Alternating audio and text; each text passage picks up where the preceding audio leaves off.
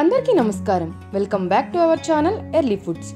పిల్లల్లో గజిబిజిగా తినే అలవాటును మార్చటానికి కొన్ని సలహాలు. అందులో మొదటిది ఒకవేళ మీరు చేసిన భోజనాన్ని మీ పిల్లలు తినకపోతే మీరు నిరాశ ఇంకా కోపాన్ని చూపించకూడదు.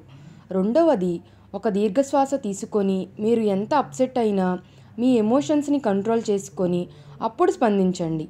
మూడవది మీ పిల్లల్ని అడగండి మీకు ఆకలిగా ఉందా లేదా అని. ఒకవేళ ఆకలిగా లేదు అంటే ఓకే అయితే ఒక అరగంట తర్వాత ఇదే ఫుడ్ని వేడి చేసి పెడతాను తినాలి.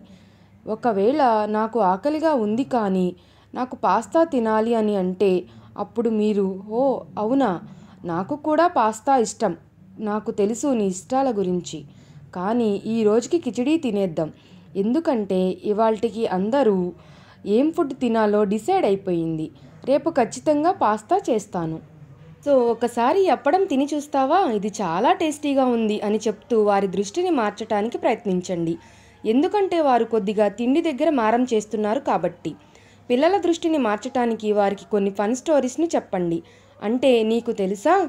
కిచిడీ కోసం క్యారెట్స్ని రౌండ్గా కట్ చేసినప్పుడు అవి గుడ్లగోప కళ్ళలా ఉన్నాయి కదా? ఒకసారి బీన్స్ని చూడు. ఇవి చూడటానికి క్యాటర్ పిల్లర్లా ఉన్నాయి కదా?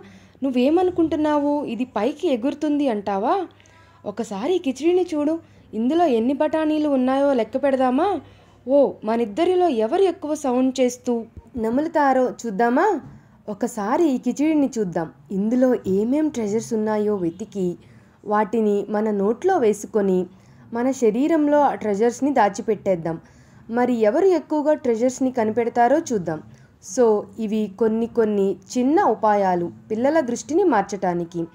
పిల్లల్ని నిందించటం లేదా వారిని ఇంకొకరితో పోల్చటం ఒత్తిడికి గురి చేయటం లేదా బలవంతంగా తినిపించటం మీ కోపాన్ని వారిపై చూపించటానికి బదులుగా ఇలాంటి చిన్న చిన్న ఫన్నీ ట్రిక్స్ని భోజనం చేసేటప్పుడు మీరు ప్రయత్నిస్తే ఖచ్చితంగా నిదానంగా మీరు మీ పిల్లల్లో గజిబిజిగా తినే అలవాటును మారటాన్ని గమనిస్తారు.